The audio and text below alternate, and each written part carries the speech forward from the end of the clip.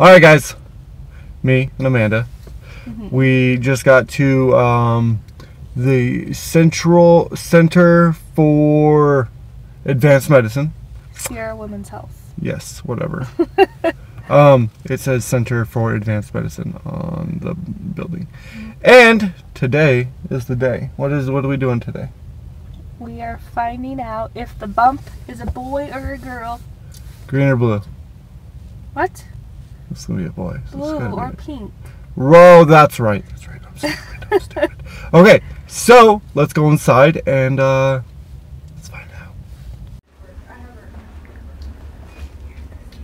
Gross. she has to. She has to bring that sample every time she comes here. It's it's gross. They have to check, make sure we're healthy. You're healthy. They're not checking to make sure I'm healthy. So we're gonna find out if we're having a boy, which is a noise with dirt and grass stains on it, What? or a girl, which is a giggle wrapped in sunshine and glitter. That's the definition of a boy and girl. No. Yeah. Definition of a boy is a superior species. Oh, shit. Big. Idiot. Um, you excited? What do you want? I, I mean, I'm okay either way, but I kind of want a girl. Uh, red or what color hair? Red for a girl. Red hair with freckles. So, so is it possible for? Amanda. Oh, that's us. So even though I eat candy all day, I, I'm still good because I'm not I'm not pre-diabetic, right? She, she came in and she was like, I was hungry. She had a bag of See's candy. well, I If you do that every originally- day, we might be in trouble, but every No, now I'm and then, actually- yeah. I lose. Keep them on.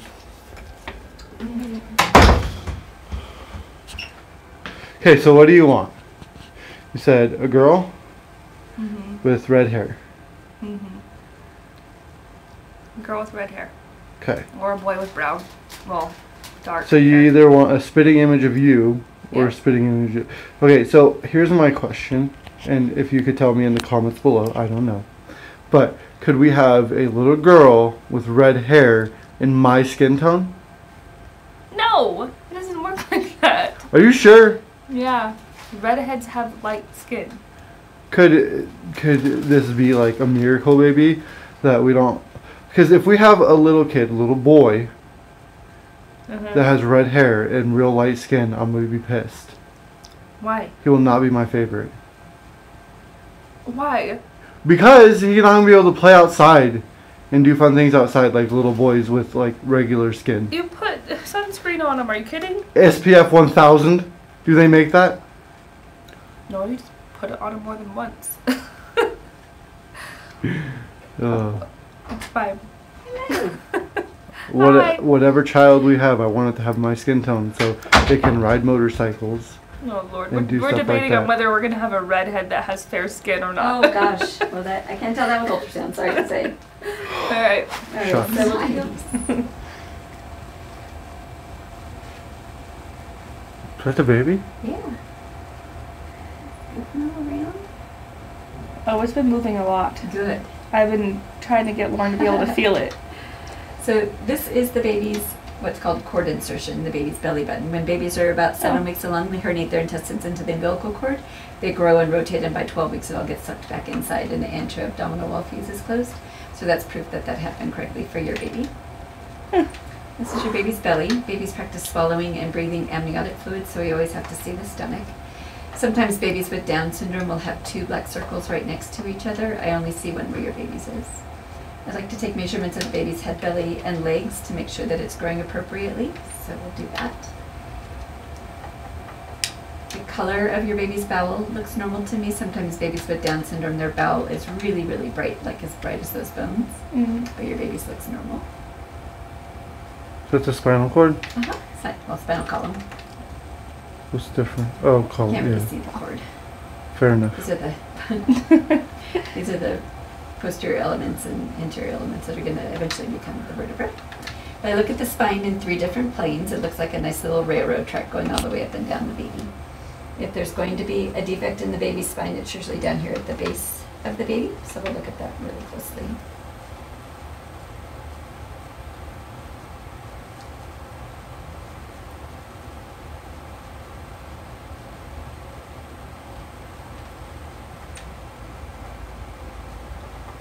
This is behind the baby's neck. I don't see any masses or anything there. Do I have to get closer to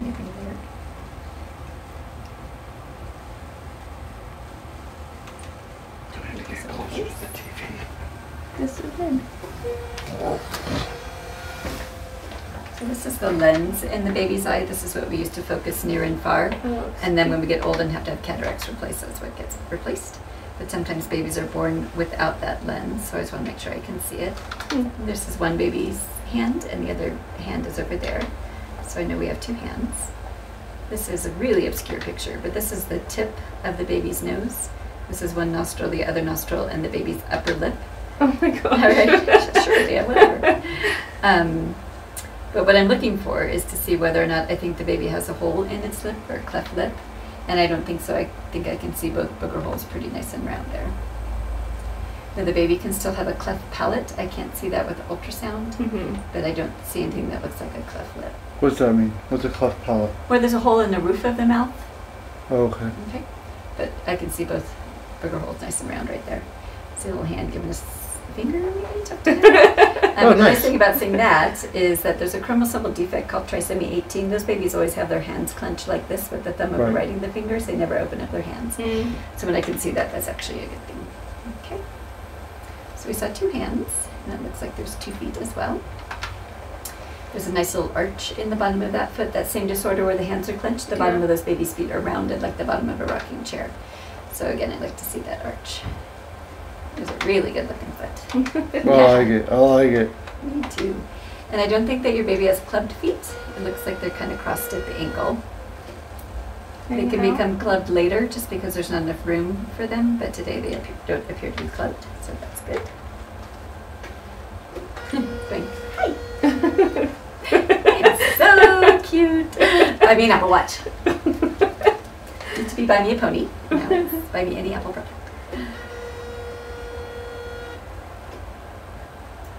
So this is the back part of the baby's brain. This is called the cerebellum. And this should measure in millimeters close to what you are in weeks, and it does. There's another little hole right here where the spinal cord leaves the skull called the cisterna magna, and that should never measure more than a centimeter, and it does not, so the back part of the baby's brain looks good to me.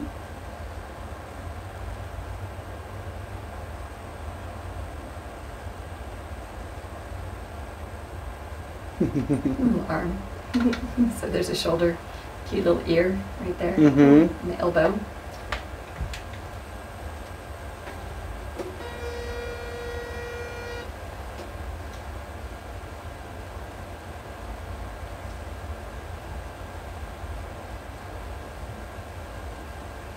This is a region in the baby's brain called the atrium. It's where all the cerebral spinal fluid comes together.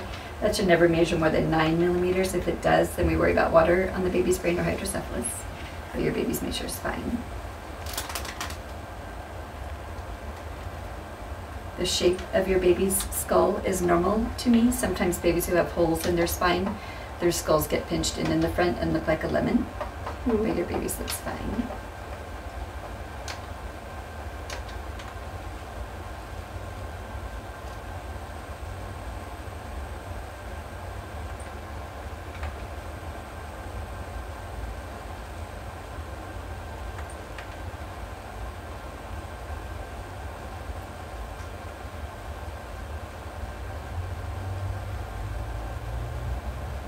C-section. Oh yeah, no, we want to have the largest vaginal. No, we don't. So eleven five. We we- can I can I hope for that? Is that healthy? Do you ever want her vagina to look the same again? Do you want her to poop on Uh, herself for the rest of her life? no. Then you, I wouldn't wish for that. Okay. Okay. Okay. Just saying. Because with big babies come problems with the perineum and rectum and things like that. So, so this is the baby's umbilical cord. There's three vessels in it. There's two arteries and one vein. That's the normal complement. Sometimes if there's just one artery and one vein, that can be associated with other birth defects. Hmm. Little hand right there. Cute little hand. Oh, he got all his fingers. Yep. Or his. Still a shim. I haven't decided yet. We'll know soon.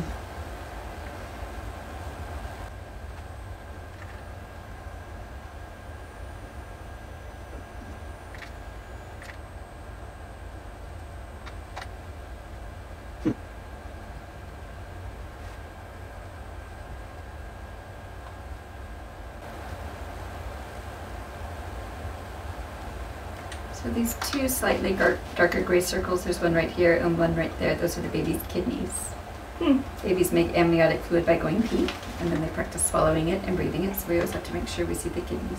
Sometimes babies with Down, they'll have some dilation in their kidneys, but I don't see any on your baby. This is your baby's bladder.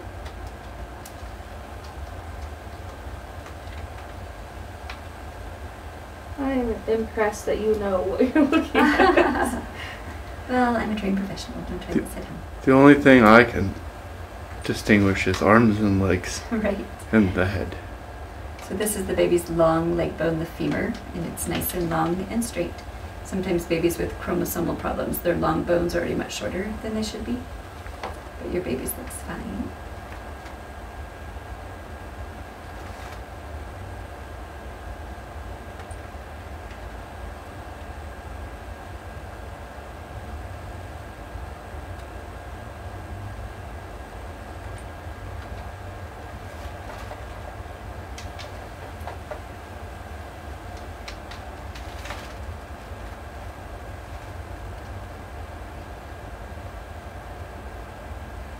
Do you already know? No, I don't. Okay.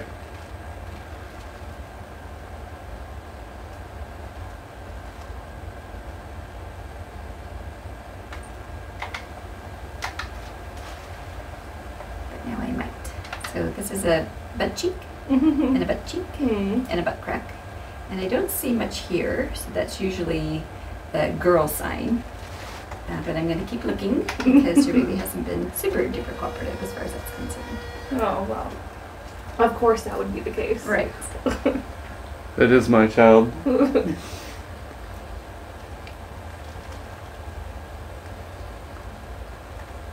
Is that the heart? Yeah. Moving part.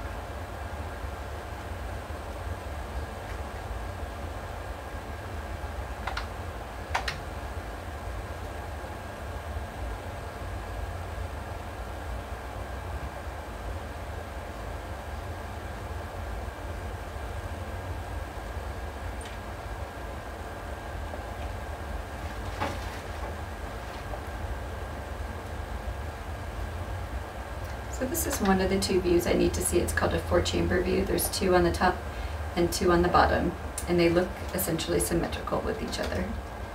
So when I can see this view plus one other one called an outflow tract, then that usually rules out about half of the really bad heart defects, the ones we don't want born here in Reno.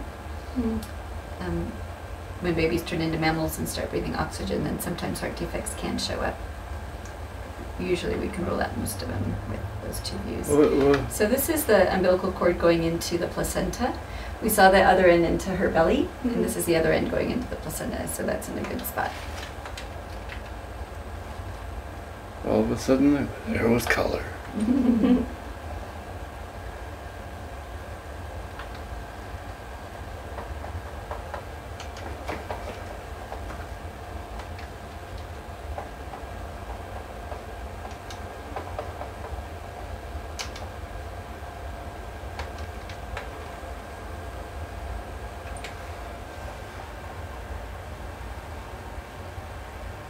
Aww.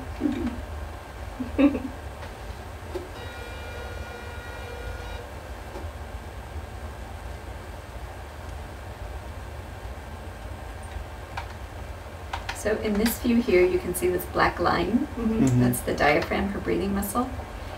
And it looks like the stomach is below the level of the heart and on the same side of the baby as the heart. So I don't believe that there's a hole in that breathing muscle. So here's the stomach, here's the heart, and this is that breathing muscle. And sometimes babies can develop what's called a diaphragmatic hernia later in the pregnancy, but I don't see anyone today. Did, did you hear what she said? Her. Yep. well, that's what I'm going with for now. subject to change.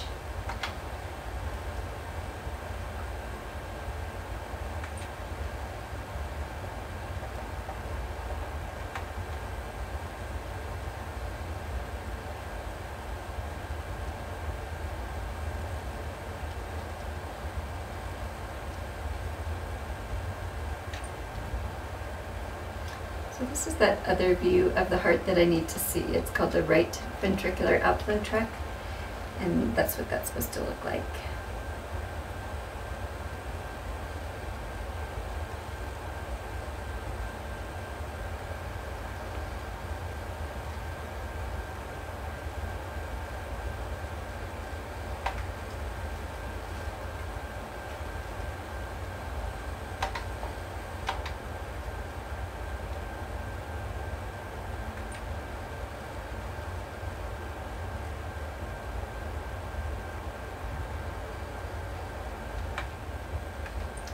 I'm this entire heartbeat.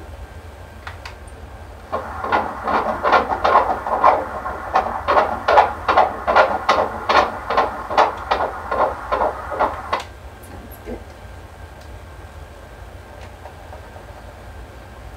One forty-six, just right. Mm-hmm.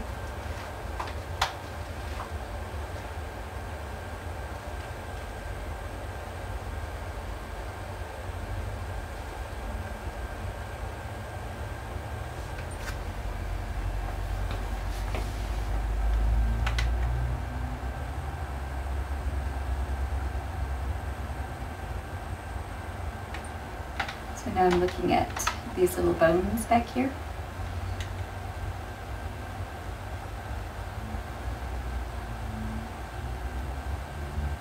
So those bones have a normal spacing and the skin edge looks nice and intact all the way up and down the baby.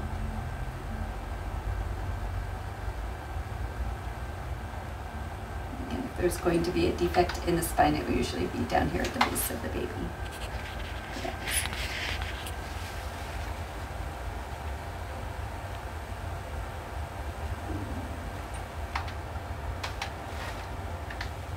So these are the typical I'm girl sign. Those little lines right there. What, what are the little lines? The her labia. Oh. Told you. You can only have girls. I'm sorry. Are you fine? That's a pretty wide open shot. Not seeing many dinglies.